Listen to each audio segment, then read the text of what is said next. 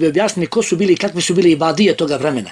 Jer ako su zaista ibadije pitali njega o tadašnjim namjesnicima, da znamo i da li su zaista ibadije pretjerivali u koliko, u kojoj mjeri.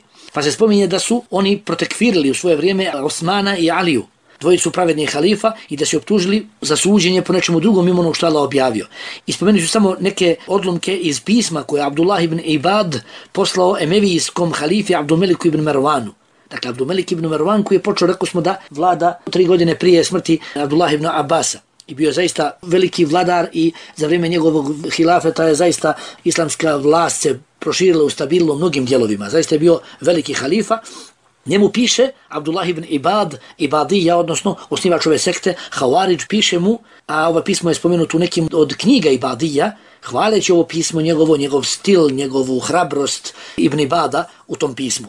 Ibn Ibad je rekao, nakon što spomenuo, tako reći, neke navodno greške Usmanove, od koji su mnoge spominjali oni koji su zaista imali neke prigovore i pobunili se protiv njega, pa kaže, Ibn Ibad piše ne Osmanu, već piše, jeli, piše Abdulmeliku ibn Mervanu, koji je Emevija, piše mu o grijesima Osmana, radijallahu anhu. I kaže, jedna od stvari koje imamo protiv njega, koje mu zamjeramo je da nije dozvolio ljudima Bahrejna, stanovnicima Bahrejna i Omana da prodaju svoju hranu sve dok državna hrana se nije prodala ovo je zabranjivanje nečega. Pazite, znači našo mu je Osmanu da je zabranjivo da stanovništvo Bahreina i Omana prodaje svoju hranu dok se državna hrana iz riznica državnih ne proda. Moguće da je bila glad ili da je preče bilo da se proda iz državnih rezervi ili nešto slično, a on to odmah naziva, kaže, to je bilo zabranjivanje nečega što je Allah dozvolio.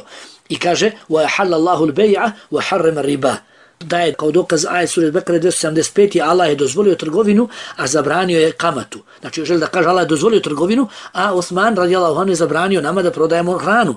Zabranio sam ništa Omana i Bahreina. Kaže, među stvarima koje Osman učinio jeste to da je vladao po nečemu drugom mimo onog što Allah objavio i suprostavio se putu Allahovog poslanika sa srem i putu njegova dva sahaba. Znači, Osman se suprostavio putu, poslanika za selem i putu dva sahabe u Bekra i Omera, navodno i kaže Allah je rekao, u emen jušakik rasule min ba'di ma tebejene lehu huda, onaj ko se suprostavi poslaniku nakon što mu je poznata uputa, ko je tebi gajre se bile mu'minini, koji slijedi put drugi mimo puta vjernika, nu velihi ma te pustit ćemo ga tom putu koji je odabrao, u nuslihi džahennem i bacimo ga u džahennem, u asaet masira, a to je zlo boravište citira u ajeti sura An-Nisa 115 i kaže također u men lem yahkum bima anzalallahu fa ulaika humul kafirun 44. sura sure Maide i također humul zalimun i humul fasiqun a onda je rekao ova i slične priče su razlog zašto su muslimani i vjernici protekvirili Osmana naravno Havarić sebe i svoje sledbenike smatra muslimanima a halifu, jednog najvećih halifa, smatruju kafirom, pa kaže,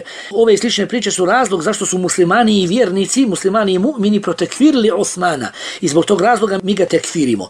A onda je kritikovo Aliju, a onda rekao, znaj da se ovaj ummet vratio u kufr onda kada su oni napustili suđenje po onome što Allah svevišnji, sve mogući objavio i počeli suditi po nečem drugom mimo onog što je on objavio. A onda je Ibn Ibad rekao o svojim haridžijskim selefima, da kaže svojim prethodnicima, oni su bili protivnici Osmanovim koji su ga ukorili i protekvirili za novotarije koje je uveo i koji su ga napustili kada on napustio Allahov sud. Oni su bili protivnici Talhe i Zubeira kada su oni zastranili, zamislite, i bili su neprijatelji Muavije kada je on prešao svaku granicu i bili su protivnici Alije kada je promijenio Allahov hukm i kada je odredio Abdullah ibn Kajsa i Amra ibn Al-Asa za arbitratore, za sudije. I oni su napustili sve njih. Ovo je priča Havariđa, naziva ih Havariđima, Havariđa, a Allah i njegovi meleci su svjedoci da smo mi neprijatelji onima koji njih uzmu za neprijatelje, njih, naše prethodnike, i da smo prijatelji onima koji uzmu njih za prijatelje i da ih podržavamo našim riječima, našim dijelima i našim srcima. Onda je rekao, a što se tiče vođa zablude, oni su oni koji sude nečim drugim mimo onoga što Allah objavio, oni upravljaju stvarima na drugi način mimo onog što je propisano strane Allaha, oni slijede svoje strasti umjesto Allahovog puta.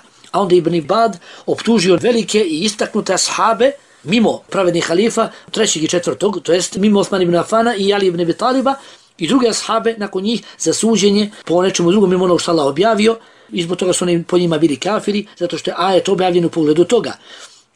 kako može tek kad su protekvirili najbolje ashabe, šta onda očekujemo da je njihov stav bio prema onima koji su došli nakon tih najboljih ashaba, kao što su Muavija i ostali halife od Benumeja. Muavija također ashab zaista, ali oni nakon njega, vladari nakon njega nisu bili to, nisu bili ashabi. Šta onda ako su protekvirili Osmana i Aliju i Talhu i Zubeira i slične, šta da očekujemo da su mislili o Muaviji onima nakon njega. Nema sumnje da je za Ibadije, za Haridžije, da je kufr, tako reći, takozvani kufr Muavi i onih nakon njega bio još i veći i žešći za njih nego li kufr, kako oni smatruju kufr Osmane i Alije, jer su zaista Emevije, osim Muavije i Omera ibn Ablaziza, vladari Emevija su zaista činili dijela zulma i nepravdi, tako da što je veoma poznato. Dakle, četvorica pravednih halifa su bili pravedni halife, a Emevije su zaista imali kod sebe dosta zuluma i dosta nepravdi i dosta grijeha, vladari Emevija, ali napominjem osim Muavije i Omer ibn Abdulaziza.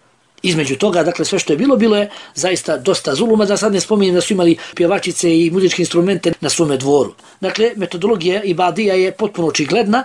Oni su smatrali zulum i nepravdu i grijehe, čak i stvari koje prema iđmau učenjaka nisu uopšte ni grijeh, ni zulum, smatrali su, zašto? To su dijela, kao što vidimo, dijela Osmana i Alije, Alija konkretno da odredi dva arbitratora i tako dalje, oni su to smatrali suđenjem zakonom Allahov zakona i velikim kufrom, i velikim širkom i tagutijetom. Dakle, ako su pravedna dijela, dijela dozvoljena, kako je činio Ali, smatrali velikim kufrom, šta onda reći normalno da su, normalno, nažalost, normalno da su smatrali dijela vladara koji su zaista bili nepravedni u mnogim situacijama i njihovi namjesnici također.